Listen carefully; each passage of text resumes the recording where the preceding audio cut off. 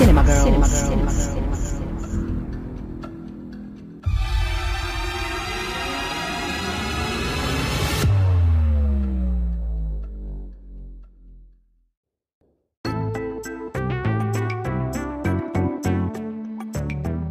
Dobrý den, vítáme vás u dalšího dílu podcastu Cinema Girls. Já jsem Ivana A já se jmenuji Jana. a dneska se budeme opět věnovat režiséru a producentu Martinu Scorsesemu. Minule jsme skončili u filmu Poslední pokušení Krista z roku 1988. A dnes bychom tedy měli dojet až do roku 2019, kdy natočil Irčana. A můžu se tě zeptat, co jsi tak dělala celý týden? Tak já jsem samozřejmě pilně ještě dostudovávala různé Pekla perníčky. eh, informace, ale zároveň, ano, přesně tak. Blíží se Vánoce, třetí adventní neděle a samozřejmě všichni asi prožíváme takový ten typický vánoční stres. Nestíháme. Jano, máš dárky? Dárky nemám, já to mám jinak, já prožívám ten předvánoční stres v tom smyslu, že nestíhám se dívat na všechny filmy od Martina Scorseseho, protože si mi naložila opravdu hodně. Takže mě dárky nezajímají, perník už vůbec ne, já jedu filmy. V perníku nejedeš. A co perníčky? Perník ani perníčky, to není nic pro mě, já mám ráda popcorn anebo kino. Ano, ale možná některý z našich posluchačů přece jenom ctí víc tyto eh, tradiční vánoční zvyky a možná už se pustil do pečení, možná schání dárky, možná se snaží dozdobit ještě nějakým způsobem adventní výzdobu ve svém bytě, domě a tak dále. Takže já bych jenom vás chtěla vyzvat, abyste si na chvilku udělali pohodu, posadili se, dali si něco dobrého, třeba nějakou dobrou kávu nebo Pustili si ostrého. koledu, Pustili si mafiány. a takhle, ano, aby jsme řekli v úvodu, tak bohužel režisér Martin Scorsese nenatočil žádný vánoční film. Víš, že jsem nad tím přemýšlela, protože nás čeká i speciál, můžeme to tak nazvat, Moc se, vánoční. moc se těší. Vánoční speciál, tak jsem si říkala, že bychom tam něco implantovali z tvorby Martina Scorseseho. Bohužel něco jako vánoční film se v jeho tvorbě opravdu nevyskytuje. Je to teda překvapující. A budeme tedy muset sáhnout hlouběji do nějakých jiných tvůrců. Nevadí, tak pojďme na to. A dnes bychom to odpálili jeho asi nejslavnějším filmem po taxikáři, dá se to tak říct. Určitě. A před vlkem. Určitě, ano. a to je film Mafiáni neboli Goodfellas. Ten název sám o sobě, ta česká verze Mafiáni je trošku zavádějící, protože jestli si ten film pozorně sledovala, tak oni tam vysvětlují, že těm italoameričanům, těm mafiánům, těm gangstrům, oni si navzájem říkali The Goodfellas, což je ale v překladu jako správňáci. Takový vlastně Mirkové Dušínové. A ten název sám, The Goodfellas, je tedy ze samé podstaty věci ironie. A to je právě problém v těch překladech. A ono je těžké to přeložit do distribuce české jako správňáci. Kdo by na takový film šel, že? Šla by si na film správňáci? Ne, ještě když bych věděla, že v traileru tam prostě vidím zbraně, podřezávané krky, ustřelené, Bůh ví co. Je to pravda. A ten film zase se vrací k tomu, co dělá Martin Scorsese nejraději, a to je mapování a zkoumání té komunity v rámci Little Italy na Manhattanu, těch mafiánů a ústředním protagonistou, můžeme říct v podstatě i jedinou takovou, dá se říct, kladnou postavu, byť on není úplně kladný, je úplně postava kladný. eh, Henryho Hilla, kterého hraje Ray Liotta. A od samého dětství nebo puberty sledujeme, jak on je zaměstnáván tím gengem pro různé prácičky a později tedy v dospělosti už dělá i různé jiné věci. Je to tedy biografie opět. Prý teda podle skutečné události. Wise Guy, Wise Mhm, Guy, mhm. kniha Wise Guy. No a celé to sleduje vývoj jejich praktik a musím říct, že je vlastně vtipné, že oni jsou třeba všichni zabijáci, tak často tam vidíš scény, kdy oni vaří ty svoje italské pokrmy. To se vlastně vyskytuje i v dalších jeho filmech, že tam prostě oni tam krájí česnek a dělají vomáčku a všichni tam jedí dohromady. Takže někdo třeba by mohl říct, že to je až takové stereotypní zobrazení té italo-americké mafie.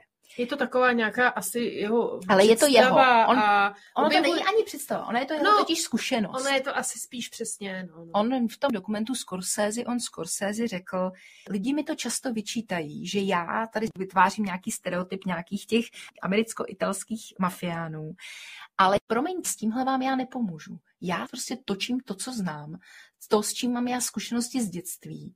A dokonce řekl jednu historku, která je jak z Goodfellas, kdy nějaký dítě na ulici, prostě s kterým on se tam kamarádil, tak jednou jenom něco provedl, že přijela policie.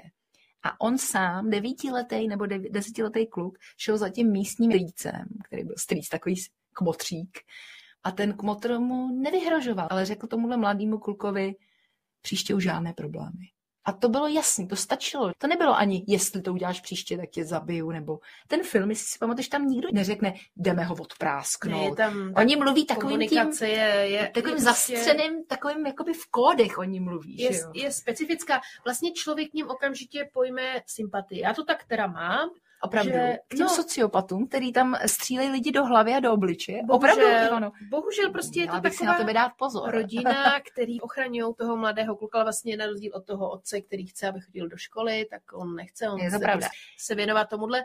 A svým způsobem je to taková rodina, takhle, pokud jsi eh, chráněna, tak je to dobré. Ale Ale jsi pokud- na té druhé straně, tak to není. A z toho filmu vyplývá příznivé. několik mouder, tak říkajíc mouder do života, které jsou tam neustále opakovány. A jedno z těch mouder je, nikdy nepráský kamaráda a vždycky drž jazyk za zuby.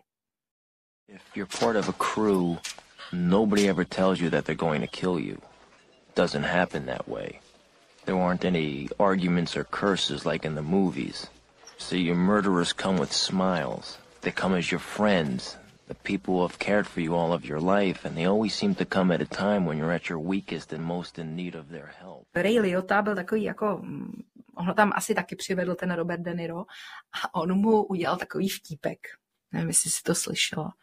On mu dal do postele někde, nevím, jestli v hotelu, hlavu koně. Ale opravdu. Ale teď vlastně nevím. Ale pokud- živou, doufám. Opravdu nevím, jestli... Živou. Živou hlavu koně. Ale To je v pohodě. zrovna nedávno dávali kmotrám, takže tam je to, že jo, jasný, ale oni mu tam dali asi nějakou atrapu, já myslím, že mu tam nedali živou hlavu koně, teda mrtvou hlavu koně.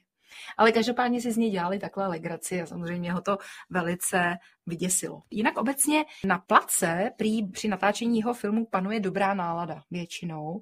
On je velice otevřený, možná jsou to i ty jeho italské kořeny, že on opravdu spolupracuje, nechává je improvizovat a je velice jako vtipný a veselý, takže To je, ale to je zajímavý. to je docela vzácný příklad, že Protože opravdu s ním se točí většinou velmi dobře. Ano. Včetně Polanského víme, že ten naopak po těch hercích Řve, takzvaně šlape, aby z nich dostal. ano, to jsme se vlastně bavili Takhle, i minule. kdyby Scorsese šlapal po Robertu De Nirovi, těžko říct, z čeho bychom se dočkali.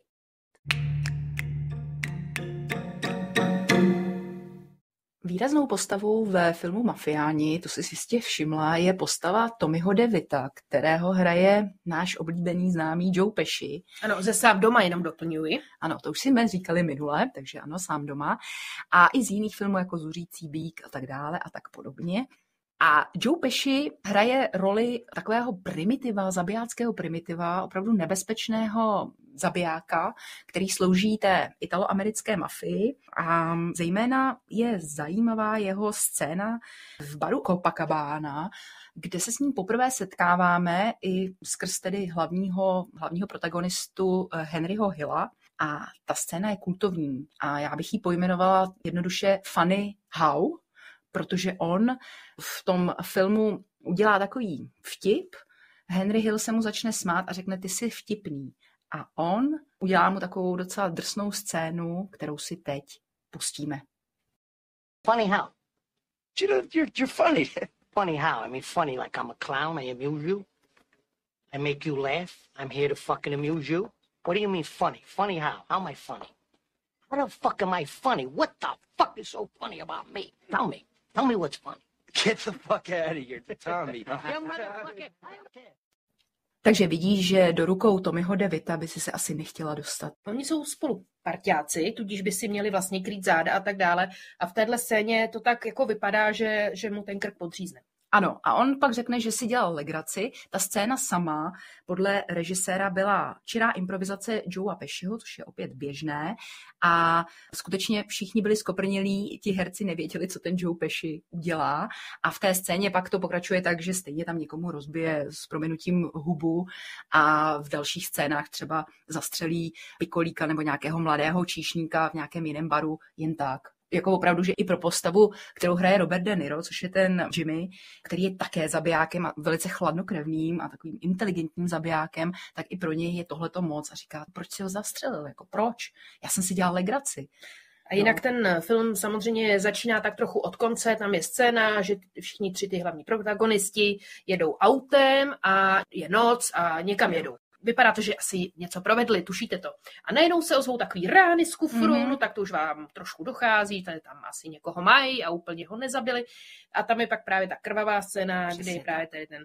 Tam je vlastně nejhorší ta scéna, kdy oni ho někam zakopou to je prostě nějaký jiný mafián, který urazí Joea Peshiho a oni ho zmlátí a dají ho do kufru a jedou ho pohřbít. Po cestě se staví u maminky, to Tommyho DeVita, což není nikdo jiný než Catherine Scorsese, maminka. maminka která hraje maminku Joea Peshiho a on jí říká, prosím tě, dej mi tu lopatu, já potřebuji tady, já jsem srazil srnku a my musíme jít zakopat a oni ho zakopají, jenomže pak si uvědomí, že ho zakopali na pozemku, na kterém se má stavit. Takže tam je taková krásně nasvícená rudá scéna, jenom takové obrysy, kdy oni vykopávají znovu tu mrtvolu a vlastně jim z toho strašně fyzicky zlé. Je to, a pře, je to... Pře, přepohřbívají nebo exhumují a pak ji pohřbí někde jinde. Je to po šesti měsících. Je to, je to až po šesti měsících. To jsem... Po šesti měsících, hmm. myslím. Jenom řekni teda, kdo tenhle film nezná, zhruba o čem to je. O čem to je teda. Jednoduchý. Je to jednoduché jako facka hodný chlapec z italoamerické čtvrti pomáhá stejně hodným mafiánům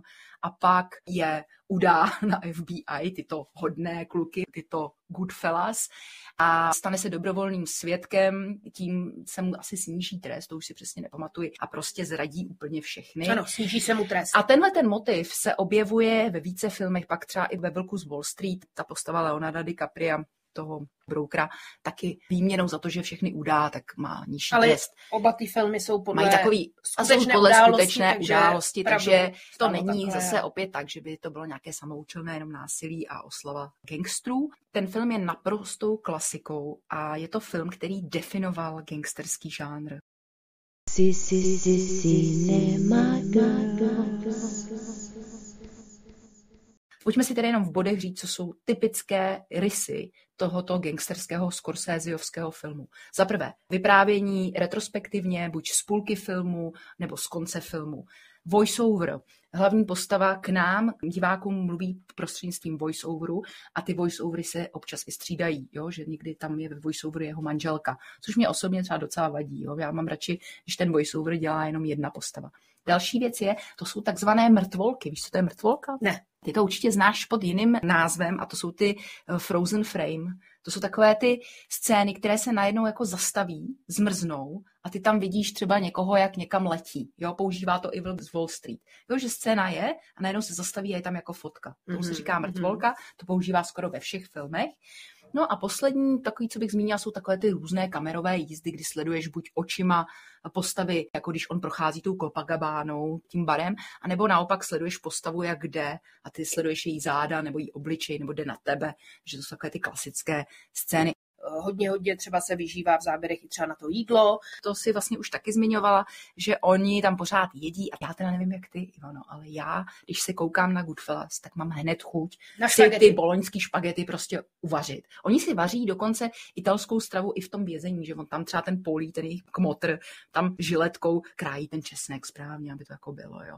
No a pak je tam samozřejmě ta dobrá hudba. To jsem taky chtěla zmínit, přesně, ta hudba, která je vlastně hrozně důležitá při tom filmu. Ale a... už od špinavých ulic ano. a v podstatě už od toho debitu Rolling Stones a jiné rokové nebo i jazzové kapely, prostě i se je... opakují ty songy, je to tam prostě všude. Jo? Je pravda, že on právě začíná využívat i té klasické hudby, to znamená popové třeba, nebo jak si už zmínila ty Stony, předtím třeba měl hudbu, která byla komponovaná přímo pro ten film, mm-hmm. ale tady už se objevují tyhle ty prvky a dělá to mrazení na těch zádech, když jsou tam takové ty scény. A, A nebo cítíte naopak, nebo naopak, on jednou řekl, že používá hudbu ke zjemnění toho účinku těch násilných scén, takže to trochu vlastně odlehčí. Dá tomu třeba i nějaký ironický podtext. Ten film dostal šest nominací na Oscara a Joe Pesci dostal tedy Oscara za nejlepšího herce ve vedlejší roli. Takže to byl film úspěšný a pro mnoho lidí je to takový prototyp mafiánského filmu. Dokonce často ten film srovnávají s filmem Kmotr. A zatímco Kmotr je velice kvalitní i stylisticky, i esteticky film, proto ho řadíme mezi vůbec nejlepší filmy světové kinematografie, tak o filmu Goodfellas se říká, že to je nejlepší film o gangstrech. Že je to skutečně realistický. Je to asi daný i tím, že to je životopisný film a že to ukazuje ty mafiány, jaký skutečně jsou, že se přesně scházejí v těch zaplivaných restauracích, bufetech, že nejsou to žádní krasavci, byť mají teda ty mladé manželky, že jsou to vlastně docela odporní lidé, kteří mají dost odporné praktiky. Takže takhle K tomu to... bych eh, ještě jenom dodala, že předtím, než mafiány Martin natočil, tak se prý zapřísáhl, že mafiánské filmy už točit nebude. Aha, to jsem teda já vůbec. Nicméně po předčtení vlastně té knižní předlohy si prostě řekl, že na tuhle knihu čekal celý život a okamžitě se vrhl do přípravy filmu.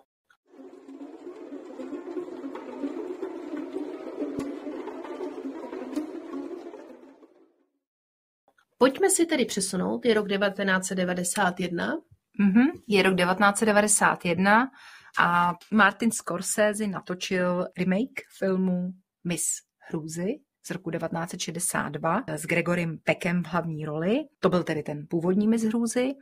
A byla to i taková úlitba za, mm, za ten film Poslední pokušení Krista, že teďka měl natočit, myslím, že to bylo pro Universal, natočit komerční film. A on natočil remake tohohle filmu s původní hudbou od Bernarda Hermana, toho určitě znáš, tu hudbu znáš třeba z filmu Psycha. Tu, tu, tu, tu, tu, Ano, tu. a je to autor Ano. filmy k hudbu filmu Taxikář, to jsme nezmínili. To jsme zapomněli. V roce, kdy natočil Scorsese taxikáře, tak složil původní soundtrack, tenhle ten Bernard Herrmann, ale zároveň to byla jeho poslední práce, protože na Vánoce roku 75, tedy v roce, kdy byl taxikář natočen, umírá. Takže ve filmu Cape Fear, Miss Hrůzy, se objevuje jeho soundtrack v pozměněné podobě znovu nahraný a my si teďka pustíme jeho malinkou ukázku.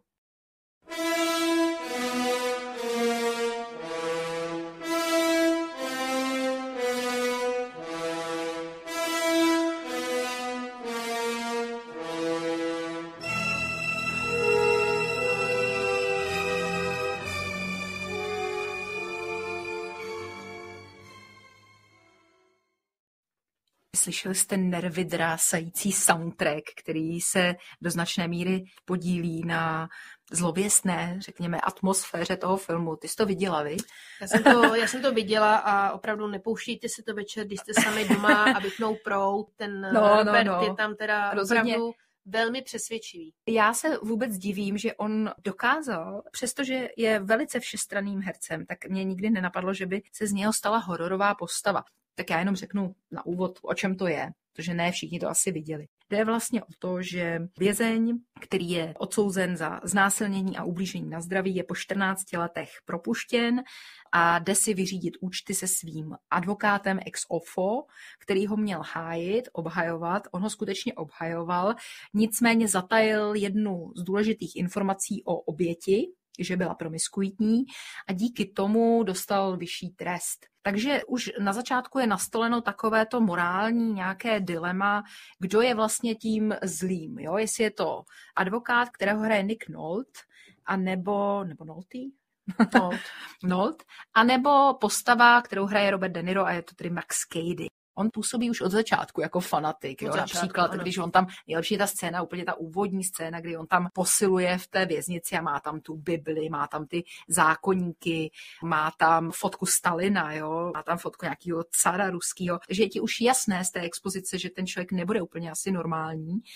tak přesto on ze začátku nepůsobí jako totální fanatik. Spíš si to chce s ním vyřídit, vysvětluje mu, že ho poslal na 14 let, že mu těch 14 let nikdo nevrátí a začne ho tak jako normálně obtěžovat. Ale postupem času, tak jak se to tak dělá, že takový ten stalking, a je tam spíš vidět, je tam spíš vidět ta neschopnost toho systému. Nevím, čemu se směješ teďka. Jako kde je stupeň obtěžování? Myslím, jako? nemyslím sexuálně prostě obtěžovat. obtěžovat se nemá.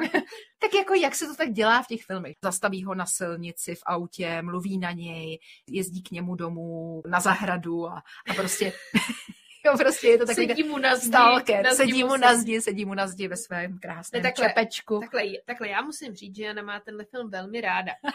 Takže, uh, takhle, od začátku tam Robert De Niro vystupuje jako totální padouch, Je to padouch, no. ale Jana to nechce vidět. Ale já to chci vidět. Já to nechci vidět, ale i sám režisér Scorsese říkal, že on, byť je to postava, kterou, kterou opovrhujeme, je, je to krvelačná postava, chladnokrevná, tak on má i svoje nějaké lidské vlastnosti. A to je taky to umění toho Scorseseho, že on nemá ty postavy černobílé. To se často vyčítá tomu původnímu misu hrůzy, že tam ta rodinka je strašně hodná, Gregory Peck, svatoušek a ten padouch je strašně zlý. Tady ten Nolt, ten protagonista, není zas tak hodný. Podvádí svoji manželku, přesně zamlčí, zamlčí nějakou informaci. Je mu to vlastně jedno, je to takový nadřazený nadsamec, který i neváhá přistoupit k tomu, že toho Roberta De Nira nechá zmlátit. Jo. Ale Robert De Niro tehdy i trénoval na ten film, má tu muskulaturu a skutečně ta postava je téměř nezničitelná. Nicméně to se všechno zvrátí ve chvíli, kdy on ukáže svou skutečnou tvář a ty si najednou uvědomíš, že on je opravdová, je to démon. Je to v podstatě monstrum par excellence. Nejznámější scéna je asi, jsou dvě. Jedna je, kdy on svádí mladičkou Juliet Lewis, která hraje dceru Nika Nolta, a on jí svádí, dokonce jí tam i políbí. A o té scéně Scorsese řekl, že to byla improvizace, opět jeho oblíbená, kdy jenom režisér, ale vůbec ne ostatní členové štábu a už vůbec ne herečka Juliet Lewis, tehdy mladíčka, nikdo nevěděl, co ten Robert De Niro v té scéně, taková ta slavná scéna, víš, jak oni jsou on v tom nabídne- divadle, on si ji pozve do eh, školního divadla, ne, do š- řekne, jí že je, učitel, že že je učitel dramatu nový a nabídne jí trávu a začne jí svádět, pak ona velice rychle pozná, že to určitě není nový učitel a pozná, že to je tenhle ten obtěžovač a on jí tam začne svádět a je tam taková scéna, kdy on jí strčí palec do pusy dvakrát a pak jí políbí normálně, jako jí dá francouzáka. A to byla přesně scéna, kterou ta herečka vůbec nevěděla, co ten Robert De Niro udělá. A je to z toho docela vidět. You're not gonna hurt me, are you? I'm not to hurt you at all. There's no hurting here, Danielle. Why do you hate my father? I don't hate him at all. Oh, no. I pray for him. You thought about me last night, didn't you? Yes, I did. I know. Do you mind if I put my arm around you? Oni to docela často natáčí ty filmy tak, že jsou dvě kamery a jedou celou tu scénu a natáčí to na dvě kamery, aby to bylo právě přirozené. Netočí to po záběrech většinou, jo. A druhá scéna je taková Hitchcockovská, kdy on se převlíkne za posluhovačku nebo nějakou paní nahlídání a zabije tam jednoho soukromého detektiva, který tam hlídá tu domácnost a to je fakt jak scéna z psycha, že on má tu paruku na sobě, ty vidíš vlastně jenom, že je oblečen v dámském, ale pak on se najednou otočí tím pohledem a ty vidíš, že to je ten Robert De Niro s tou parukou namalovaný a strunou z klavíru už krtí tohodle detektiva a už krtí i tu posluhovačku. Služebnou. Takže je to opravdu drasťák. Řekla bych, že to, že to není pro citlivé povahy ten film. No, teď jsem to říkala. A závěrečná scéna na lodi, ta, Jo, se, tak to je úžasný. ta se no. točila v Bažině, Jo, ve státním někde. parku. Mezi krokodýlama, Tam ne? nastal paradoxní věc, že v té scéně, kdy oni jsou na té lodi a teď to tam prostě vypadá, že je strašný déšť a bouře a tak dále, tak opravdu trvala v té době, když tam natáčeli tropická bouře, takže ten filmový štáb pravda, no. eh, musel počkat asi čtyři dny a pak si teda mohl udělat ten svůj déšť. Nicméně, když jsem na tu scénu koukala, je teda zajímavé, že ta loď, která je taková velká bytelná, ten houseboat nebo Houseboat něco, je to, no. najede na takový kamínek a najednou to úplně tu loď rozbije. To musím teda říct, že... To jsem si všimla, že to bylo i jako docela dobře udělaný, nebo nepřijde No, no, ale já jsem si spíš říkala, jako, že to bylo možná až moc teda, za Jo, mě. Že jako, že si... by se to nestalo. Mm, ale tak že to jako, byla taková to detail. věchýtek houseboatu. Oni se tam škrtějí perou, Oni se tam škrtějí perou. On není ten klasický villain, ten klasický zloduch, který jenom je vrah a má své půdy. On skutečně, jak je těch 14 let v tom vězení, tak nejenom, že se naučí číst a psát, protože předtím byl negramotný, ale on je tak strašně sečtělý, zná naspaměť Bibli, naspaměť ničeho a to tam je vlastně vidět, jo, několikrát, že ta postava skutečně je taková barevná, bychom řekli, není černobílá. Takže ty máš k němu i ten obdiv, že on se skutečně vypracoval, byť teda jeho charakter je přinejmenším diskutabilní, když tam zabíjí lidi s Je to, že? je to tak dělané, ano, ano, aby si prostě A aspoň... svádí ty mladé a je tam teda ta scéna, kdy on vykousne kus tváře jedné právě kolegyni toho Nika Nolta, nějaká úřednice od soudu a on jí svede, je strašně šarmantní a pak během sexuální scény jí dá pouta a vykousne jí kus tváře. Což mě přivádí ještě na jednu věc, která je důležitá, abychom ji zmínili. Ta scéna mi připomněla velmi jeden film, který byl natočen ve stejném roce s Antonym Hopkinsem A Safra. A který ho porazil v tom klání o Oscary, protože oba byli nominováni na Oscara za hlavní. Takže mlčení. Ano. To je zajímavé, že v roce 91 byly natočeny tyto dva filmy. Mlčení jehňátek a Miss hrůzy. Oba na pomezí thrilleru a hororu. A oba ty hlavní protagonisté, nebo spíš antagonisté, tedy jako záporáci, jak Hopkins, tak Robert De Niro byli nominováni na Oscara za hlavní roli. Měl ale velkou konkurenci. A měl opravdu velkou konkurenci, ale myslím si, že v tom filmu je i scéna, kdy Hopkins někoho pokouše, pokud si dobře pamatuju. Ano, on tam samozřejmě, přesně tak. Ale, Takže ale to takhle, jsou takové ne, podobné. A jenom jsem chtěla k tomu ještě říct, já vím, nebudeme zaběhávat, protože... do mlčení jehňátek.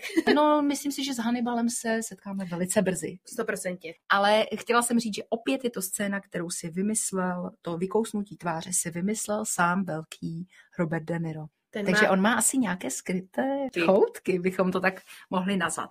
Takže tím bych uzavřela tento skvělý film a můžeme se podívat na další snímek.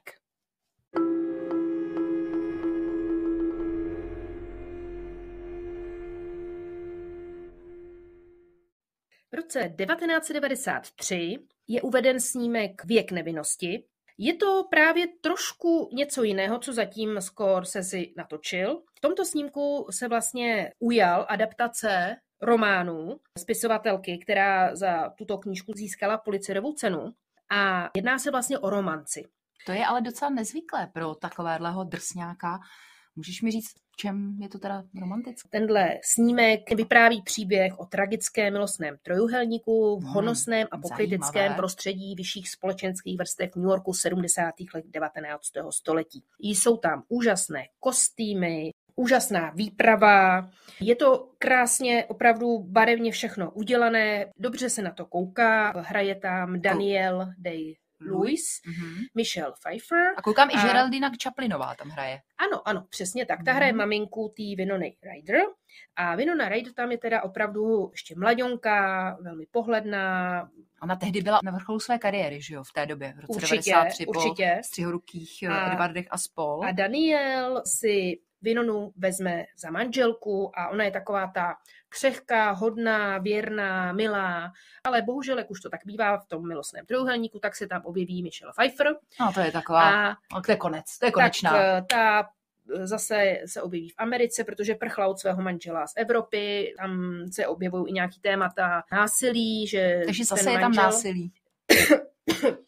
Jen si odkašlej, to nevadí. spíše psychické, že on nějakým způsobem ten manžel týral, takže ona vlastně od něj utekla, teď se tam řeší, jestli se s ním může rozvést. A ona je právě příbuzensky zpřízněná s tou Vinonou Ryder. Ten Daniel se do toho vloží a snaží se to nějakým způsobem všechno zařídit tak, aby se mohl teda šťastně oženit a zároveň tam nebyla žádná skorna v té rodině, no ale přitom eh, právě řešení té situace se do té Michelle bohužel teda, jak už to tak bývá, zamiluje, protože ona je takový opak té Vinony, ona prostě Já já tady koukám na její fotku, Tam, jak jí eh, zrovna líbá na krk, no to je tam, pravý opak teda, doslova. Tam sedí na tom svém krásném honosném gauči, kouří cigaretu, vypráví zajímavé historky. Svatba nakonec proběhne, ale neustále on se tam potýká v těch svých myšlenkách a občas, když se potká s tou Michelle Pfeiffer, tak tam je cítit taková ta energie mezi nima, že se vzájemně přitahují.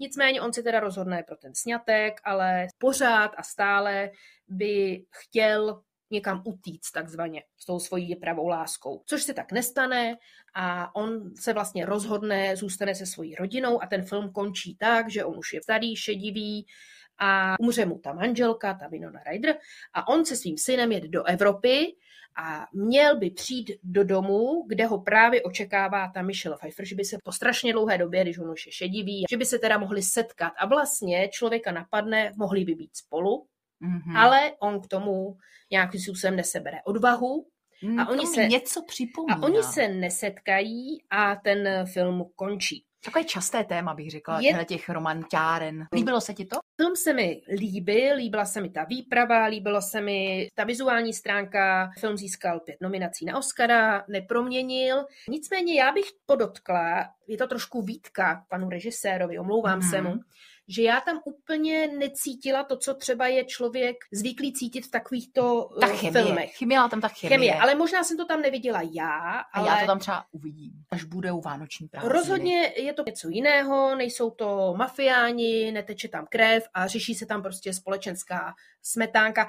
Já jsem chtěla říct, že jsem ten film možná viděla kdysi v dětství, když ho dávali vždycky v televizi a mě ten film trošku tehdy splýval s jiným mým oblíbeným filmem a to je film Nebezpečné známosti s Johnem Malkovičem, Michelle Pfeiffer a Glenn Close. Znáš to? Je to z Samozřejmě. roku 88. A mě to ještě a já- splývá s Valmontem, Jako- protože Valmont se porval s nebezpečnýma známostma a jak to dopadlo, nebezpečné známosti dostali Oscary a Valmont nedostal No, nic. tak nebezpečné známosti jsou mnohem lepší než Valmont. Eh. Byť je to teda formán, ten Valmont, takže mě to takhle splývalo a už jsem tomu nevěnovala tehdy takovou pozornost.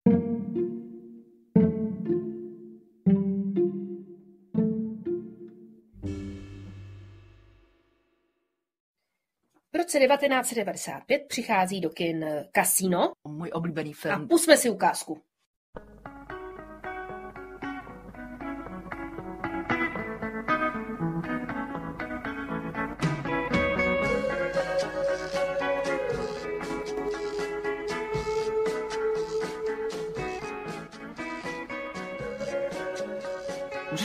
Co to bylo tedy za ukázku, co to bylo za hudbu? tak to asi možná posluchači poznali. Rolling Stones, velice známá skladba Gimme Shelter, která se objevuje v hodně filmech, nejenom u Martina Scorseseho. A u Martina je teda v Goodfellas, v Casínu a ještě v Departed neboli skryté identitě, pokud se nepletu. Je to tak? Nepleteš. Víš, co je zajímavé, že u filmu Mean Streets, Špinavé ulice, a teďka u filmu Casino se objevují i dvě písničky, které se objevily na soundtracku Dirty Dancing, hříšného tance. To jsme zapomněli zmínit. Uh, u ano. Mean Street jsme, teda u Špinavých ulic, tam je to, myslím, taková ta Be my, be my girl, tak to je v Mean Streets, ve Špinavých ulicích. A tady je Baby, tu du du, oh baby. Tak Že to byl hříšný Tam, tanec. tam, tam, tam, To byl hříšný Takže tanec to je v podání. Jany. Což mě, což mě pobavilo, že v kasínu, které je mnohem mladší než Dirty Dancing, stejně eh, si neodpustil ten Scorsese použít píseň, která je už nerozlučně spjata s filmem Hříšný tanec. U Špinavých ulic mu to můžeme ještě odpustit, protože to ještě žádný Dirty Dancing nebyl. A když se bavíme o té hudbě, tak já ti tam skočím a řeknu Skoč ti, tam. že eh, ona tam hraje Sharon Stone, která byla za tu roli nominovaná Ano, na Oscara. krásná. Ale pozor, o roli Ginger se uvažovalo i o Madoně, takže možná jsme se Ježišmarja. mohli dočkat nějakého songu Like a Virgin, ale uvažovalo se také o Nicole Kidman nebo Michelle Pfeiffer. No, nakonec tu roli získala Sharon Stone. Prej o to režiséra prosila. Já bych chtěla říct, že Sharon Stone už prosila o roli manželky Jakea LaMoty ve filmu Zuřící bík. A tu roli nedostala, takže se jí konečně splnil tak trochu sen, že aspoň zde, nebo aspoň ona byla na tu roli nominovaná. Ona hraje manželku hlavní postavy, kterou stvárnil Robert De Niro, jak jinak. A Robert De Niro, co by bývalý hazardní hráč Sam Ace Rothstein, dá se říct mafií, dosazen do vedení kasína v Las Vegas, Takže on není takovým tím klasickým mafiánem, on je spolupracovník mafie a ty vlastně v tom kasínu vidíš, to se mi líbila nejvíc ta scéna, tu mašinérii těch peněz, jak tam jezdí ty bankovky, jak tam třídějí ty mince, Zase jak se je to- to obrovská jako kolos prachů, z nichž velká část jde té mafii, která se ale někde schází. Zase je to takový ten upocený nějaký bar v Kansas City, kde se schází ta mafie, která ale vlastně odsud šéfuje to obrovský monstrózní kasíno. Je to italská mafie, samozřejmě to Mhm. jsou nelegální zisky a přesně jak říkala Jana, je tam opět zase použit voice over, pak ten hlas popisuje, jak se hraje u jednotlivých stolů, jak jsou ty bookmakeri tam hlídaný, co Prostě všechno se celkově, dělá. celkově ten proces toho, jak vlastně Velmi to detailně funguje, popsáno. tam je detailně popsáno, ten film má opět tři hodiny. Ten samotný film začíná kultovní scénou, kdy Robert De Niro vybuchne ve svém voze a je tam prostě taková zpomalená scéna, kdy jeho tělo letí plameny za doprovodu hudby od Johana Sebastiana Bacha A titulků toho a filmu. titulků toho filmu. A aniž bych chtěla prozrazovat, jak ten film dopadne, tak ta první scéna je taková mystifikace, protože ve voice-overu se zápětí objeví Robert De Niro, který vypráví celý ten příběh, takže nám je už zpočátku jasné, že pravděpodobně nezemře. A jak už jsem říkala, už v souvislosti s Goodfellas, je to opět film, ve kterém hraje Joe Pesci a tentokrát Joe Pesci je nelítostným vrahem, zabijákem, snad ještě horším. Já si říkám, jestli ten člověk má někde nějaké limity, ten herec. Jestli by ještě dokázal zvládnout, zahrát ještě horší postavu, než je tenhle ten zabiják, který nakonec tedy, to můžeme říct, ten skončí opravdu zle. Jako ostatně On i v mu- Goodfellas. on Je mu- pohřben zaživa. On Robertovi zajišťuje bezpečnost, je to jeho nejlepší přítel, ale jak říkala opravdu Jana, tak je to takový ten brutální gangster. Nicméně tam je problém, že když někdo hraje gangstra nebo někdo je tuhle roli dobrý, tak se tak trošku použije opět. Možná, možná Je to, ta, je to určitý stereotyp, jak je ten Joe Pesci obsazován. Naopak Robert De Niro hraje postavu, která je velmi mnoho vrstevnatá. Je to na jednu stranu taky gauner, gangster, můžeme říct, který je neobyčejně inteligentní. Ta postava je líčena tak, že je velice chytrá, dokáže odhadnout veškeré podvodníky, kteří chodí do toho kasína. Je velice i brutální, používá různé jako způsoby, jak varovat tyhle ty podvodníky. Ale na druhou stranu je neskutečně naivní, co se týče vztahu k Sharon Stone, k té postavě, kterou hraje Sharon Stone, které bezmezně věří, bezmezně ji miluje a ve vztahu k ní on se chová jako, jako naivní idiot. A to je taky jedna věc, která některým divákům na diskuzních forech k tomuto filmu docela vadí. Jak je možné, že tento hyperinteligentní drsňák se chová s proměnutím jako blbec a nechá se využívat postavu, kterou hraje Sharon Já bych Stone. se ho možná trochu zastala. On se, on se, on On se je prostě, zamilován, on, on se, se- prostě zamiloval. On se do ní zamiluje a Kdo by se nezamiloval? se to odráží. Já bych jenom zmínila, že jak už jsem říkala, tak se tam objevují scény z kasína a opravdu se ty scény natáčely v kasínu Riveria, Mhm. mezi jednou a čtvrtou hodinou raní a to proto, aby se štáb nepletl mezi opravdové hráče a samozřejmě taky nechtělo se nějakým způsobem omezit ten místní biznis. A vlastně ten konec filmu je takový, že tam Ten vlastně šílený, končí taková stará éra toho, Mhm. jak ty kasína a tyhle tam padají ty budovy, viď? biznisy byly vedený a všechno se to už přecvakává a dalo by se říct, že ten eh, hrdina lituje, že končí staré Ta dobré stará mafiánské A časy. jsou tam ty domy, které padají a nové ty mrakodrapy, které je nahrazují. To je něco, co pak použil i v Gangs of New York, kde taky je vidět ten starý New York 19. století a postupně, jak tam rostou ty mrakodrapy a končí to těmi dvojčaty. A jak víme, Gangs of New York, o kterém budeme ještě chvilku, za chvilku mluvit, je film, který ještě se natočil před pádem dvojčat. Ještě jsem chtěla říct poslední věc k filmu Casino a to je problematika té mafie, která tady je o něco ještě drsnější než v Goodfellas. Byť jsou to samý takový staří páprdové, tak oni jsou předvoláni, jsou obžalováni na konci toho filmu a hrozí jim asi 25 let za různé podvody a vydírání, prostě takové ty klasické trestné činy. Ale oni tím, že se sejdou, tak stejně se jim ještě podaří domluvit, že spoustu těch svědků a spoustu svých parťáků prostě zabijí. Byť vypadají jako vetchý, neškodní staříci, tak oni jsou opravdu vylíčení jako strašně krutí lidé, kteří čistě jenom z prevence, jenom jako co kdyby nás ale udal. Já ho mám rád, ale co kdyby nás udal, tak ho zastřelíme. A v tomhle ten film je snad ještě realističtější než to Goodfellas. Tím bych to tady uzavřela Mhm. a půjdeme na další film, Posuneme se do roku 1997. Scorsese nedělá film o gangsterech, ale věnuje se úplně jinému tématu, a to tématu Tibetu. A je to film Kundin, psáno Kundun, ale čte se to Kundin. Je to příběh, který začíná po smrti 13. Dalajlámy v roce 1933, kdy se vydali tibetští mnichové hledat jeho nové převtělení. Jeden z nich jej objeví po čtyřech letech v čínské provincii blízko tibetských hranic a je to svéhlavý vlastně dvouletý chlapec a on tam zažívá ty různé situace, protože ho vezmou do toho chrámu a teď ho vlastně vzdělávají a připravují na tu To cestu. se mi vlastně líbí nejvíc, kdy oni vytipují toho tříletého chlapečka, který je neskutečně rostomilý někde v těch horách tibetských a dávají mu takové ty hádanky, že on musí vybírat z těch předmětů, co je jeho a co není jeho a podle toho oni zjišťují, jestli on je převtělením nebo není. Rozhodně je to krásný náhled do té nám zcela cizí kultury. Pro mě, když se řekne Tibet, tak já si vybavím tibetské vlajky, transparenty a demonstrace za svobodu Tibetu, ale už si nevybavím moc přesně, co vlastně ten Dalai Lama znázorňuje, jak se vybírá. A z tohohle pohledu byl ten film pro mě velice obohacující, byť je velice dlouhý, a takové volné tempo dlouhé a je to zcela něco jiného, než známe jinak od Scorseseho. Ještě bych tomu chtěla říct, a tím vlastně můžeme spáchnout i ten film, který je také součástí této trilogie, a to je film Mlčení. Byť tedy trošku skáčeme, tak to je film, který je z roku 2016. Hraje v něm Liam Neeson, což je taky jeden z oblíbených herců Martina. A to je film naopak o jezuitech. Nevím, jestli jsi měla možnost to vidět.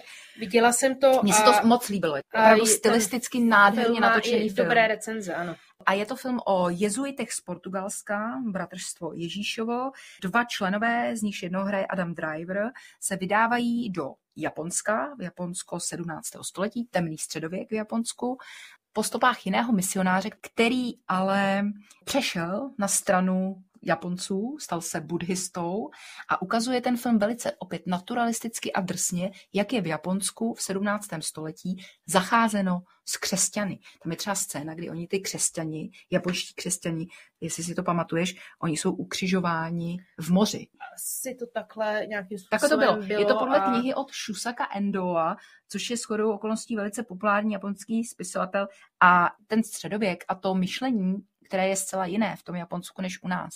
A ta snaha vnutit jim koncept křesťanství je tam vylíčen, vylíčena naprosto dokonale. Jak oni třeba mučí, jo? třeba tam je scéna, kdy oni potkávají se nakonec s tím Liamem Neesonem, který jim vysvětlí, že prostě se musel vzdát toho Ježíše. Oni šlapou i na obrázek Ježíše. A je tam ukázána scéna, jak oni toho Neesona mučili. Vidím, že se tváříš velice. Tak eh, Změníme téma. eh, Jdeme dál. Já bych jenom ještě dodala, to určitě si taky chtěla říct, že po natočení filmu Kundin. Kundin Číňané zakázali vstup panu režisérovi, ale i třeba manželky Harrisona Forda, která Marissa Mattison, bývalá manželka, který již zesnula, která napsala scénář, tak tam měla také pak zákaz do zákaz Tibetu. do Tibetu. To už známe i z filmu Sedm let v Tibetu, kdy Brad Pitt má taky zákaz. Nicméně ten film si pusté je opravdu moc hezký. Skvělá hudba od Filipa Gláse tam Přesně je hlavně. tak. Výborně. Máme rok 1999 a Tam bych chtěla jenom zmínit, ano, počítání mrtvých, to je takový docela zajímavý zase návrat k těm špinavým ulicím New Yorku. Tentokrát ale sledujeme nikoli ani taxikáře, ani jiné postavy, ani gangstry výjimečně, ale, ale záchranáře. Niko, záchranáře Nikolase Cage, který jezdí v noci. Opět je tam ta problematika nespavosti, že on nemůže vůbec spát, je úplně bledý. Dokonce, když jede jednou k nějakému případu, tak si sám dá infuzi a kyslík, protože už je úplně na pokraji nervového a i fyzického vyčerpání. Je to taková variace na toho taxikáře. Ten film nebyl příliš úspěšný, nicméně já bych ho našim posluchačům doporučila Jo, z toho důvodu, že má opravdu takovou až jako zvláštně snovou atmosféru. On se odehrává v podstatě jenom v noci. Sledujeme ho asi během jenom tří dnů, kdy on tedy opravdu jezdí k těm případům většinou nějakých bezdomovců nebo lidí, nějaké kteří... tragické Ano, příběhy. a opravdu tam Hmm. vidíš ty chudáky, ty lidi, kteří žijou na té ulici a už jim v podstatě není pomoci a jsou to různí bezdomovci, narkomani, hodně je tam problematika těch narkomanů, lidi, kteří mají AIDS. Takže to není taková nemocnice na kraji města. Není to vůbec to, jak znáš třeba Chicago Hope nebo Emergency seriál, tak tady ta pohotovost je fakt naturalistická. Je to Hmm. místo, kde by si opravdu nechtěla být a on do toho ještě vidí, Ale asi pravdivá. on do toho ještě vidí duchy těch Mrtvých. lidí, kterým on nepomohl. Mhm. Nebudu prozrazovat ten děj, ten film je takový výjimečný v tom, že je to trošku zase něco jiného, byť je tam ten New York, trošku se ten film vymyká tou svojí snovostí tomu, co normálně Hlavně známe. Nicolas- Ale voiceover tam je. Hlavně Nicolas Cage. Nicolas takže Cage. Puste si to. A teď nás čeká film, který jste možná viděli. Asi ho většina lidí je z roku měla 2000, možnost vidět. 2002, jsou to Gangy v New Yorku a ten film je první spoluprací s hercem Leonardem DiCapriem. Leonardo DiCaprio má také italské předky, i když po matce je hlavně a po Němec. babičce je Němec, Mhm. ale má i italské. Třeba i ten důvod, proč on se jmenuje Leonardo, je takový, že oni byli tehdy ve Florencii, jeho matka byla ve Florencii, když byla těhotná a koukala se na obraz eh, od Leonarda da Vinciho a dítě koplo, Leo koplo, Leo kopl a tím pádem matka řekla, budeš se jmenovat Leonardo. Ale A- mohl být taky fotbalista, když kopl. Je to tak, je to tak. A abych řekla tak ironicky, svůj předpoklad ke spolupráci s Martinem Scorsesem splnil už jenom tím svým původem, protože i Robert De Niro a ostatní herci mají částečně italský původ. Cinema Girls.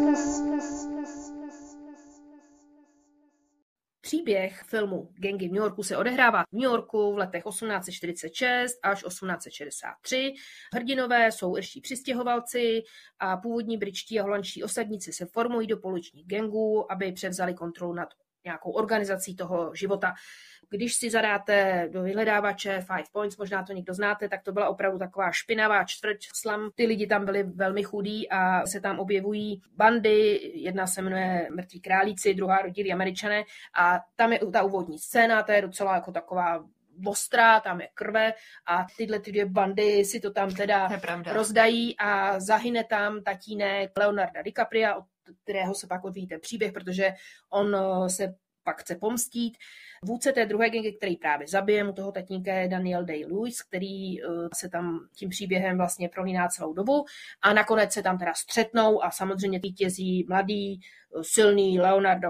Ten se ještě stačí zamilovat do takové místní kapsářky Cameron Diaz, to to tam teda Mhm. sluší a všechno se to tak jako odehrává v takových zvláštních, vypadá to trošku jako kulisy, což... A oni to jsou i kulisy. Ono se to točilo ve studiích v New Yorku a hlavně slavné italské studio Cinecittà v Římě. A ob, objevuje se tam taková ta irská hudba, Je to takové tak, ty... je to tak. Závěrečná hudba v titulcích je od YouTube. Mně ten film moc se nelíbil a to protože na mě působil neskutečně uměle a jediný, kdo mi tam přišel zajímavý, je Daniel Day-Lewis, který tam hraje neskutečného záporáka, ještě má to oko, že jo? Ano, to se mu A podařilo. jinak i tomu filmu bylo často vyčítáno, že herecky to nezvládla ta Cameron Diaz. Ona měla hrát Irku, stejně jako Leonardo DiCaprio, ale ona prostě ani ten přízvuk nedávala moc. A celkově ten film je, je neskutečně dlouhý a je to trošku jak film z jiného světa, než světa Martina Scorseseho. Tím bych tedy opustila, jestli můžeme, Gengy z New Yorku a vrhla bych se na film, který myslím si, že máme rádi obě, nebo Mě určitě zaujal. mně ten film se líbí z toho důvodu, že je to film o tom, jak se točily filmy. Je to podsta jednomu velkému filmaři, Howardu Hughesovi a zároveň průkopníku letectví, letci. Například ten film sám popisuje natáčení, velice náročné natáčení válečného snímku Pekelní anděle neboli Hells Angels z roku 1930. Tak kromě toho on byl konstruktérem a průkopníkem letectví a velkým podnikatelem, proto si také mohl dovolit natáčet ty filmy. A v tom filmu opět hraje Leonardo DiCaprio, který se tentokrát zhostil svého úkolu velice zdařile. Mně se strašně líbí v té roli a vyzdvihla bych i zejména výkon, herecký výkon herečky Kate Blanchett, která za tuto roli získala Oscara za nejlepší herečku ve vedlejší roli. Ona tam hraje tu slavnou herečku Catherine Hepburn. Ne Audrey, ale Catherine Hepburn, která byla i manželkou nebo přítelkyní Howarda Hughese. Hlavní postava byl takový vlastně neudavný dobrodruh, který miloval rychlost, nebezpečí. Byl jeden z nejbohatších Američanů své doby, ale také nenapravitelný sutničkář, což teda naráží na to, že eh, On tam má ani spoustu těch s tou, tou dámou nevydržel, ale zároveň byl ještě i psychicky nemocný člověk posedlý nejrůznějšími fobiemi, což je právě docela eh, Zajímavě tam i ukázáno. prostor pro herce Leonarda, který se v tom opravdu Jo, tam jsou skvělé ty scény, že on třeba je na, já jsem to nejdřív nechápala, tu scénu, on je třeba na toaletě a někdo po něm chce, nějaký invalida chce, aby mu podal ručníček a on prostě není schopen ani se dotknout ručníku a podat ho někomu jinému. On má fobii. On má takovou tu bacilofobii, Ano. že se bojí šáhat na ty kliky a on se toho zhostil skvěle. Myslím, že byl na to i snad nominován na Oscara, ten Leo. Je to epický opus, výpravný film, který měl celkem asi 11 nominací na Oscara a dostal tedy nakonec pět Pět. o- Oscarů. Ještě bych eh, zmínila, že z hlediska stylistiky má takovou eh, zvláštní barevnost ten film. Skutečně to nebyla chyba mého HBO Max, protože jsem se na to dívala na HBO. Opravdu ten film je schválně laděn do takových sépiových, ale zároveň i modrých ocelových takových tónů. Je a to- pak zase, jak ten film postupuje a i jak přicházel barevný film, tak ten film jako z červenatí a je takový řvavý, jo? jak byly dřív ty, přesně ten Technicolor, tak to v tom filmu hraje taky svoji roli. Je to tak a to byla hlavně práce kameramana toho filmu, Mhm. mm-hmm. Richardsona, který zvolil pro jednotlivá období odlišné barevné ladění. Například na začátku se zcela obešel bez červené, přesně ve stylu nějakého dvoupásového technikoloru, používaného na přelomu 20. a 30. let a postupně barevnou škálu doplňoval. Takže jak tady říkala Já, já jsem si myslela, že moje televize je rozbitá a nakonec se ukázalo, že to byl záměr tvůrců. Co bych k tomu filmu ještě řekla? Chceš k tomu ještě něco říct? No, uh, už to asi zmínila, bohužel opět Scorsese uh, vyšel na prázdno, co se týká Bohužel. Nemá, nemá nejvyššího a musel si počkat, ale ne už moc dlouho. V podstatě už na další film, a to je film, který máme rády. Já bych ráda tento film uvedla Aj, aj, aj, aj. hudbou a pak se k ní něco řekneme.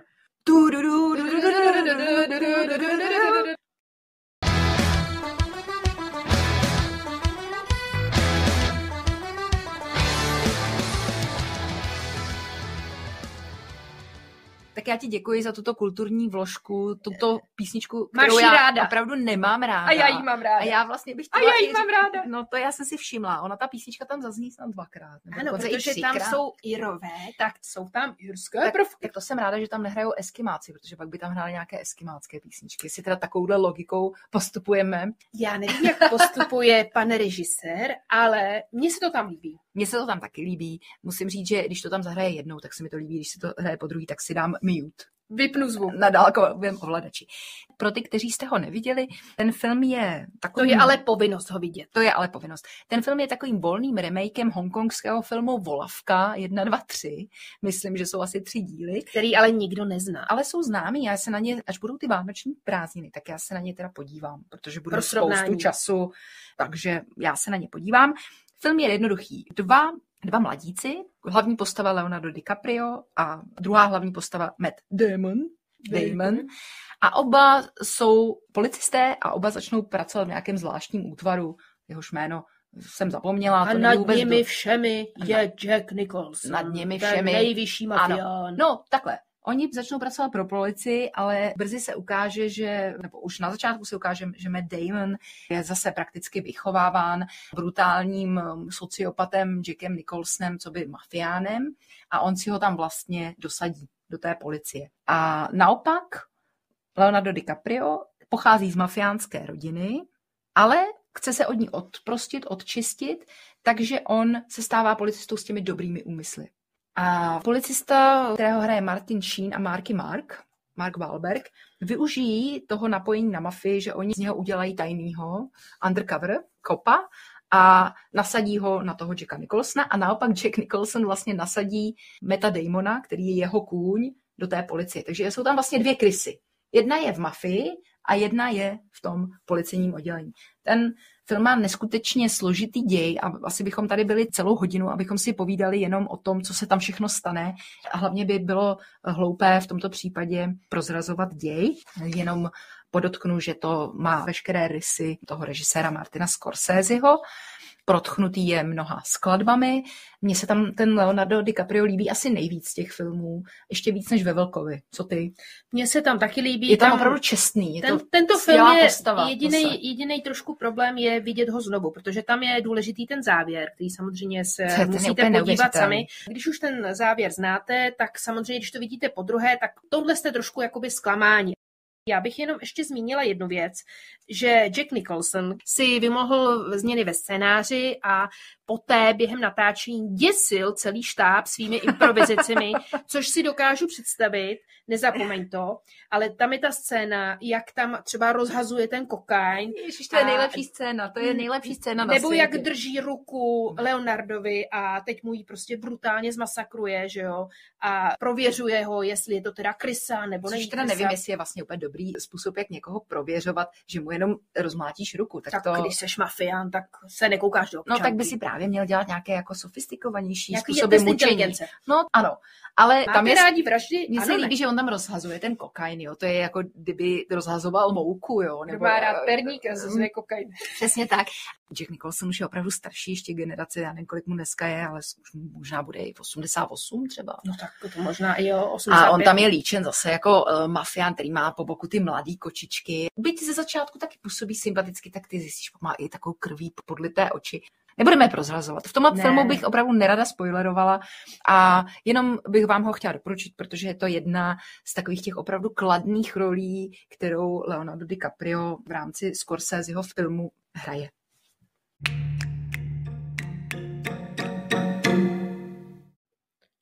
Skrytá identita vynesla režisérovi Martinu Scorsesemu druhý Zlatý globus za nejlepší režii, ale konečně taky toho tolik očekávaného Oscara. Hurá! A když eh, cena byla vyhlášena, tak Scorseseho reakce byla, mohl byste zkontrolovat obálku? A kdo jiný by mu měl tu cenu předat, než jeho dlouholetí přátelé a kolegové, což byl Francis Ford Coppola, George Lucas a Steven Spielberg. Prostě stará dobrá parta.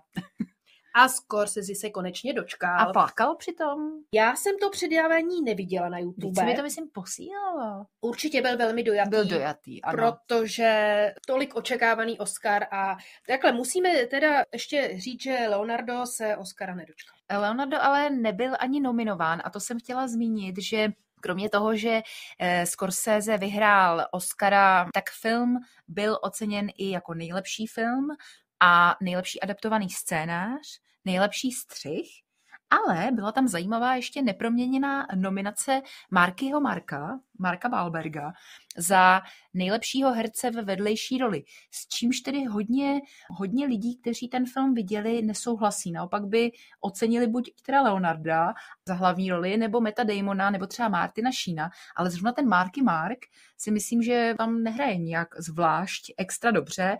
Kdo je tam naopak vtipný, je postava Aleka Baldwina který má neustále tam nějaké hlášky a to je vlastně šéf té policie. Tím bych eh, opustila tento skvělý film. Dá se říct, že to je takový top 20 v té kategorii thriller nebo nějaký krimi thriller.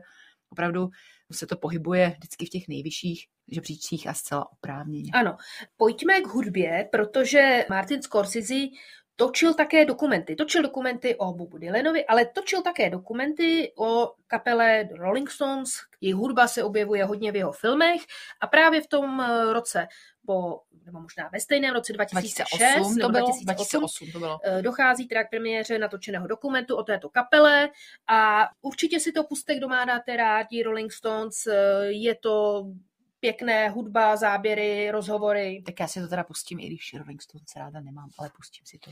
Pokud nemáte rádi Rolling Stones, puste si třeba plyn.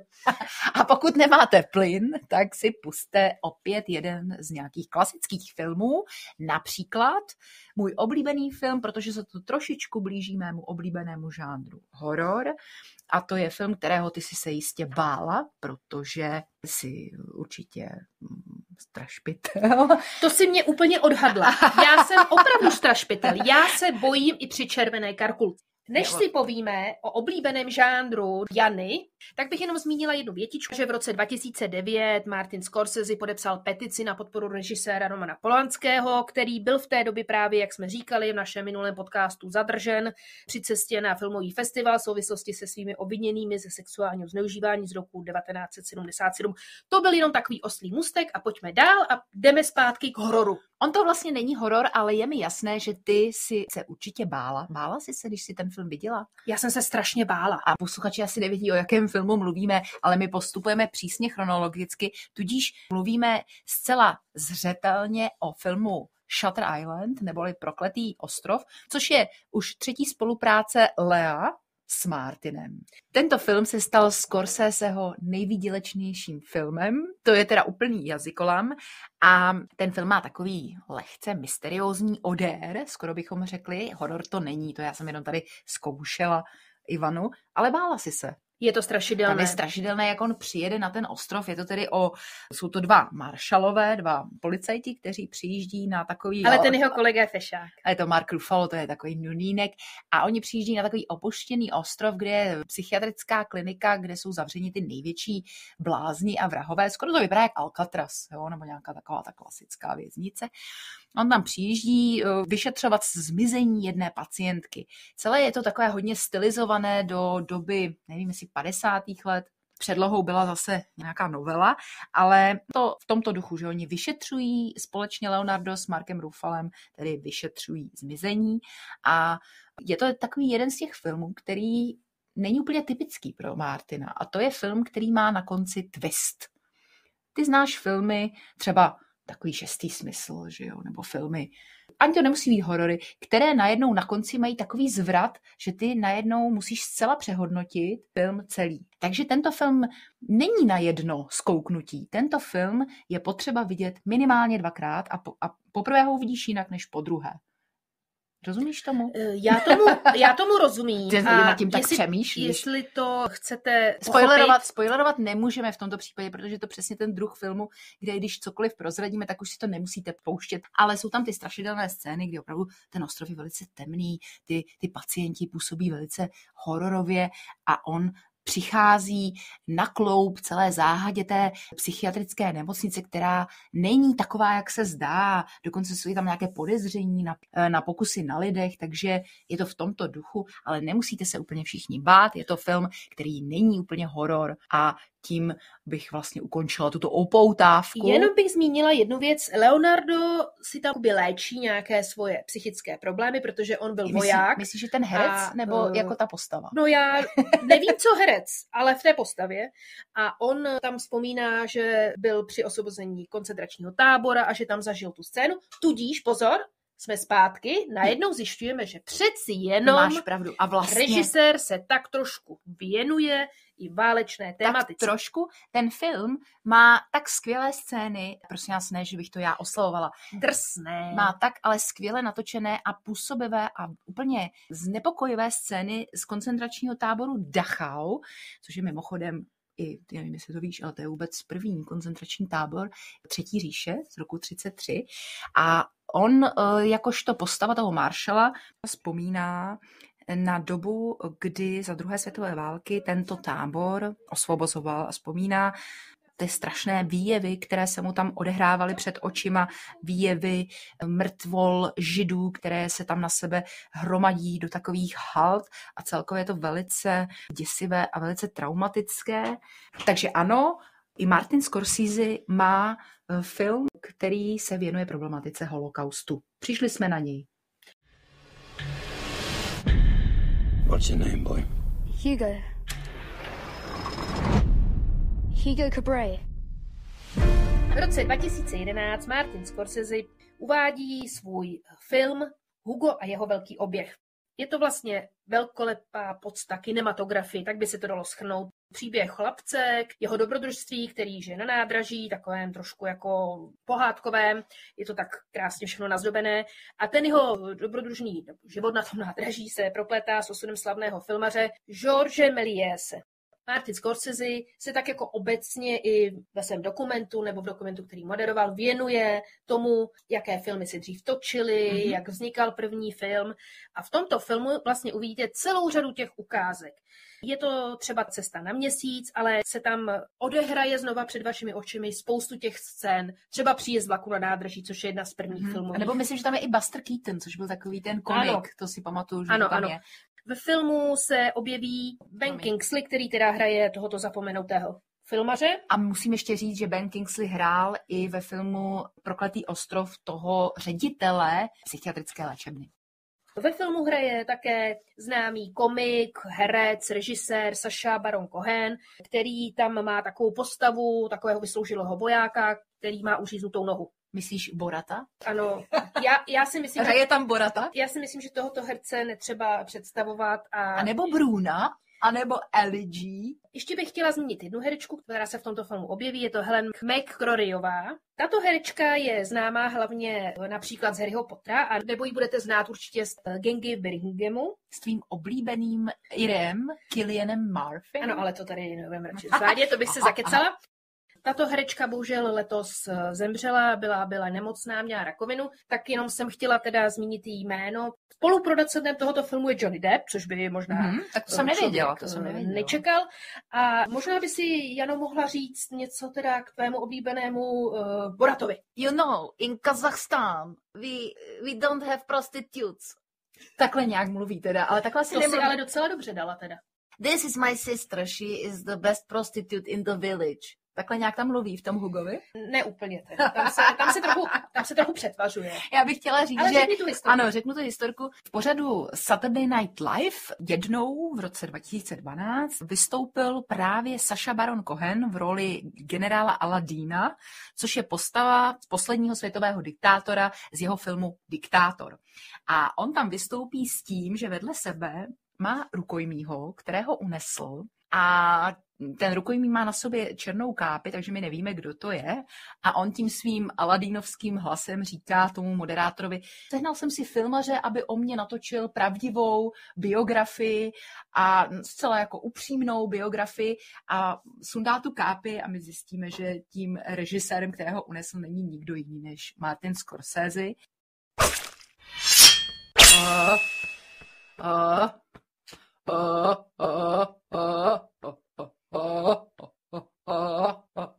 Jano, Jano, co to děláš? Ty to nevíš. Já tady předvádím Matthewa McConaugheyho. Ah, to Už budeme nejspíš už u toho filmu Vlk z Wall Street. nejspíš. Je to tak.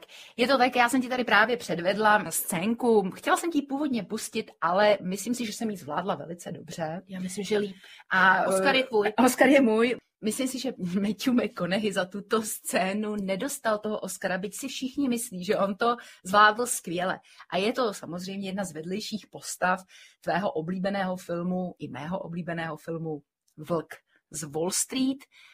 Co kdybychom si pustili z toho takovou malou ukázku? I also gamble like a degenerate. I drink like a fish. I fuck hookers maybe five, six times a week. I have three different federal agencies looking to indict me. Oh, yeah.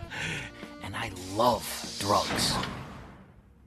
Tak eh, jak už to tak ve filmech Scorseseho bývá, Ano, vycházíme opět z pravdivého příběhu. to je ale překvapení. Takže tentokrát je to businessman, který se opět pohybuje na hranici zákona. Jmenuje se Jordan Belfort. Vidím tady, Aha, ty máš tady nějaký získal- taháček. to je můj taháček, získal zápis Guinnessově knize rekordů za největší počet nadávek ve filmu.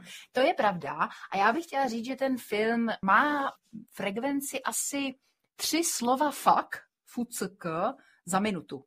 Tak to bude ono. To bude ono. Já jsem to teda nepočítala, ale v podstatě slovo fuck anebo slovo fucking, můžeme si to pak i vypípat, protože naši posluchači samozřejmě umí anglicky, takže to je v podstatě i pro nás prosté Pozor, slovo. já to tady mám. No tak to řekni. Bylo to 506 krát za 180 minut. 506 krát. Ano. A to je taky ten důvod, proč já ten film jsem zpočátku, když jsem ho viděla v kině, tak mě to moc nebavilo a hlavně jsem se dívala po těch lidech a ty se mi nesměj teď. Ne, ne, se já ti chci něco říct, to Já- se ti bude moc líbit, já co se jsem- v tom filmu stalo. Já jsem se v tom kině, když jsem na tom byla v kině, dívala víc na ty lidi, kteří seděli kolem mne, než na ten film.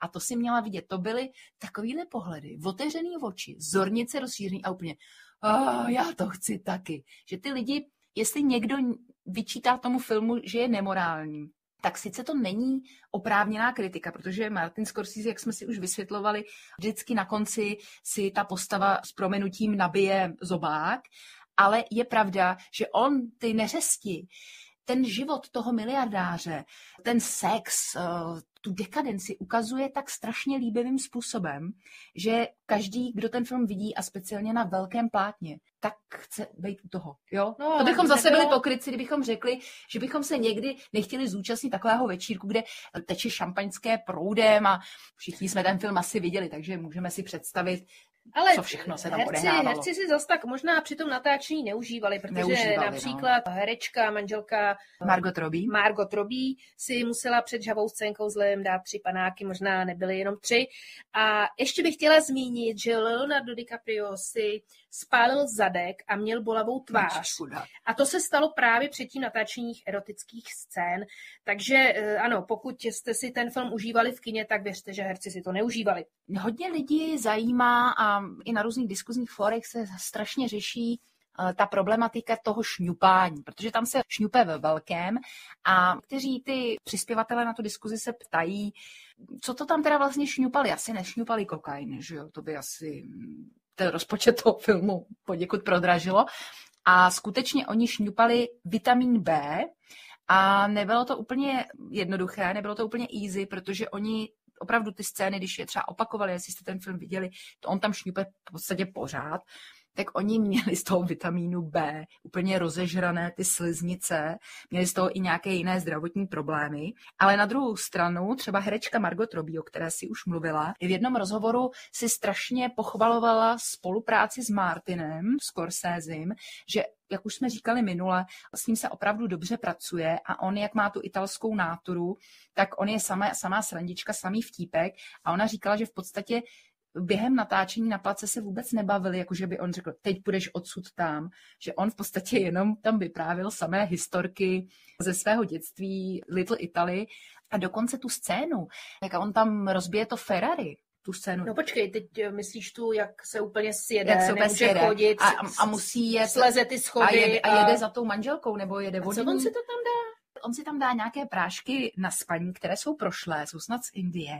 A ty prášky mají být jako top, jo? že takový ten... Tomu ten jeho kamarád. tomu ten jeho kamarád Ten je, ale teda, ten je ale ano. dobře A vypečený. tím, že ty prášky jsou prošlé, tak ten nájezd mají posunout asi o 90 minut a úplně je vlastně umrtví a skoro tam jako umřou. Nicméně jedna ta scéna, kdy oni se tam pohádají s tou manželkou, tak tam měla vypadat jinak. Nebudu už teďka to specifikovat, každý si to může najít. Margot navrhla, že tedy to chce trošku jako zdramatizovat, tu scénu, a Martin Scorsese řekl, jo, tak klidně. Takže ona si pochváloval to, že on nechal přesně jako vlastně jednu scénu, když to teda řekneme s jistou nadsázkou, zrežírovat. A to jsem ještě chtěla říct obecně k těmto režisérům, že oni, ty příslušníci toho hnutí New Cinema nebo New Hollywood, oni spolu spolupracují dost často. Steven Spielberg třeba pomáhal se scénářem Scorsesemu, George Lucas zase pomáhá Spielbergovi. Jo, že oni spolu opravdu, Brian De Palma, jsou to všechno vlastně dá se říct kamarádi a pomáhají si. Nejsou to oddělené jednotky, které by si každý by si hlídal svůj film a závistivě by koukali. Určitě, určitě. Oni prý eh, díky tomu, že šňupali ten vitamin B, pak měli hodně energie a zase na druhou stranu, Ano, pokud si tady ta herečka tak hezky popovídala s panem režisérem, dala si že- panáky, pak se nechala synkovat Leonardem, tak Ten film to má- není tak špatná Ano, práce. ten film eh, v podstatě vypráví tedy příběh burzovního makléře, který má jachty a strašně zbohatné a obklopuje se modelkami, takže zlí jazykové třeba tvrdí, že v podstatě Leonardo DiCaprio chvílemi hrál sám sebe, protože jak my víme, Leonardo DiCaprio také má rád mladé modelky, také má jachtu. ale, ale- ale je velkým ochráncem přírody. Je velkým ochráncem přírody, i když má jachtu, ale každopádně tím nechceme vůbec snižovat jeho herecký výkon. Naopak, já si myslím, že po filmu Departed je tohleto jeho eh, asi nejlepší výkon herecký. Určitě by si za to i toho Oscara zasloužil. A poslední věc, kterou k tomu filmu ti musím říct, jak jsme začínali s tou indiánskou šant, já nevím, jak se tomu říká, kolébavka nebo skladba, sklidnění. tomu se říká shanting v angličtině, já nevím, jak se to řekne v češtině, Mm. tak on při té scéně ten Leonardo ho pozoruje, jak on to tam, ten skoksovaný Matthew McConaughey On je jeho zpívá. vzor, on je jeho vzor, chvíli, ale ty najednou vidíš, že on se na něj tváří strašně vražedně. A já jsem si říkala v tu chvíli, a není to tak trochu kvůli tomu, že ten rok oba byli nominovaní na Oscara za hlavní hereckou roli, Leonardo za film Vlk z Wall Streetu a Matthew za film Klub poslední naděje, si znáš o nemocném, který má AIDS. A on ho porazil. Takže nejenom, že on vlastně ukradl mu tuhle tu scénu, on tam hraje skvěle, sice tam je asi 10 minut nebo 20, ale on hraje výborně, ale ještě mu ten rok sebral toho Oscara. A musel Já si jsem, počkat eh, až na Revenanta. Já si myslím, že v té době běhalo pár vtipných videí. Potom, A on tam se fakt se, na, on se na něj fakt v té scéně, kdy Ale zpívá, jest- tváří strašně zle a tam už jenom chybí ty titulky ty jsi mi to letos ukrad, ty šmejde. Ale dneska už jsou eh, srovnaný, eh, DiCaprio se konečně taky dočkal a myslím si, že... Oba jsou skvělí herci. Myslím si, že asi je to někdy těžké udělit toho Oscara, když se tam sejdou prostě Takové dva- šajby. V roce 2016 tedy je uveden snímek Mlčení, o kterém už Jana něco zmiňovala. A rozloučíme se s vámi filmem Irčan, The Irishman z roku 2019, který jste mnozí z vás měli možnost a stále máte vidět na streamovací platformě Netflix. Každopádně ten film, byť je k vidění na Netflixu, předtím šel do kina a byl také nominován na několik Oscarů. Ivano, chceš k tomu snímku něco říci? Já bych eh, jenom teda řekla k tomu to, že opět se tam eh, rozehrává téma nějakého zločineckého klanu a je tam Robert De Niro omlazen a to mám pocit, že neúplně šťastným Já jsem způsobem. k tomuto tématu chtěla dojít až potom, co uděláš krátkou anotaci. Ale dobře, ty si řekla to, co je vlastně na tom filmu nejvíc do očí bíjící a bohužel ten film to trochu snižuje jeho kvalitu, byť je to opět skvělá spolupráce nejenom Roberta De Nira a Scorseseho, ale máme tam teďka výjimečně i Al Pacina, který jinak nehraje snad v žádném Což je filmu. úžasná kombinace, ale už je Úžasná. taky trochu v letech. už je v letech, on je z nich nejstarší. Je tam tedy i Joe Pesci, je tam samozřejmě i Harvey Keitel, který je snad z nich nejstarší. Tedy. Al Pacino je méně starý. Což je teda zase krásné se skupení. Já jsem ráda, že ten film vznikl, A... ale mohli si odpustit to, a teď poprvé budu tedy kritizovat práci tohoto Ne, velikána, to. že my máme věřit, jakožto diváci a jakožto fanoušci všech jeho filmů, my máme věřit, že Robert De Niro je mladík, který jezdí s kamionem ve svých 30 nebo 29 letech. On je omlazen z věku 74, tomu bylo, když to točil, na takzvanou třicítku. Dělal to Industrial Light and Magic, což je mm, známá firma, která dělá všechny tyhle ty i u Spielberga, u Lukase. A oni se s tím strašně chlubili, ještě předtím, než ten film šel do kin, jak to bude převratné, jak je to revoluční, jak opravdu omladí ty herce, všechny.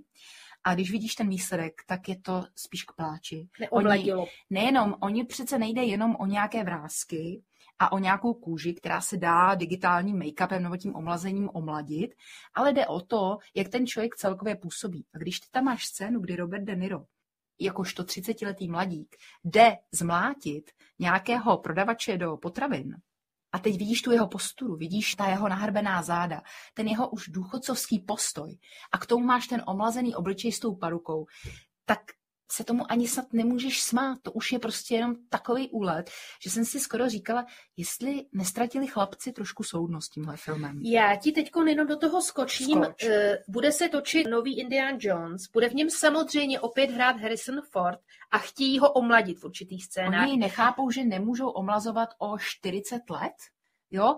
Ku podivu ten digitální make-up nebo to digitální omlazení u Al Pacina vypadá mnohem lépe, než u toho Roberta De Nira, byť je Robert De Niro mladší. U Joea Pesciho to je katastrofa.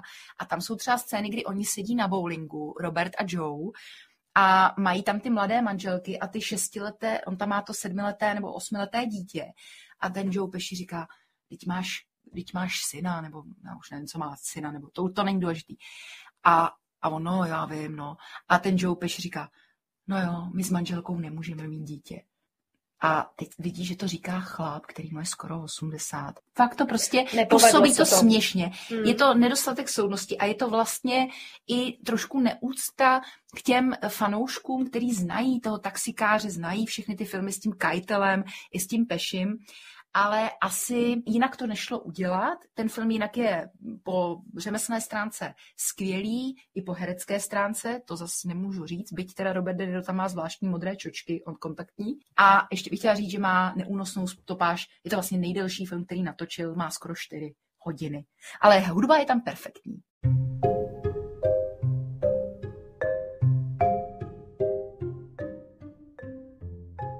Já to řeknu jednoduše, když jsi starý, tak neles do filmu. Neles na plátno. Prostě musíš být mladý, krásný, jako tady my s Janou. To je docela krutý, ale k těm, nebo Al Pacino, nevím, jak se to říká, Prostě starší, Robertům. Ale starší, herečky 40 plus už mají, nemají podívej se, mně se ten Robert De Niro líbí, i když je starý. To je hezký, protože vlastně tady teď je na tobě vidět, že máš se Přesně. No a zároveň takový ten problém, jako, že jo, jak se říká, že si ty mladší Kompenzují něco ze svého dětství. hledají své tatínky, tak si No, našla. Roberta, no. Robertka. No, možná ti to evokuje tohle slovo, ale tak eh, jako, Já rozhodně se mi líbí víc než Alpač. to je dobře, protože si nebudeme lézt do zelí. To Mně se víc se líbí, mně se vždycky strašně líbil Alpač. Jediný, co bych řekla, že je možná ještě menší než já. Já mám 168, co si myslíš? No, tak já nevím, něj fakt nevím a Robert taky nebyl žádný jako obřin. No, ono to hrozně zkresluje, mm. vem si Toma Cruise, to je prťák. No a víš, kolik váží, teda víš, kolik měří, víš, kolik měří To nevím, kolik. Leonardo, to by se zdivila, viď? Kolik měří? no? 183, to je docela vysoký kluk. A ten působí zase No, malé. ten písový prtě. Ale oni to dokážou z těch prťat udělat a naopak zase z těch dlouhánů Mhm. udělat. Takže já bych tím uzavřela tuto diskuzi, velice plodnou a intelektuální diskuzi na závěr tohoto dílu, který je věnován Martinu Scorsesemu. Jsem ráda, že už příště budeme mít někoho eh, s trošku jednodušší výslovností. To jsi mi tedy nahrála na můj otázku. Jano, koho jsi si teda připravila na příště? Ivano, koho jsem si připravila na příště, to bys teda koukala, koho jsem si připravila. Připravila jsem si režiséra z Velké Británie, který je ale generačně velmi podobně na tom jako Martin. A ty toho režiséra moc dobře znáš. Je to Ridley Scott. Skvělý výběr, moc se těším. Vidím, že jsi vyloženě překvapená. Úplně mi spadla čelist. Ani nehraješ to překvapení. Ne, už si teď v hlavě uh, začínám vzpomínat na ty jeho filmy. Zejména, že jo, Telma Luisa, Vetřelci, Blade Runnerové a všichni podobné, takže se moc těšíme na příště. Děkujeme moc za poslech, loučíme se a za týden na skle A přejeme krásnou třetí adventní neděli.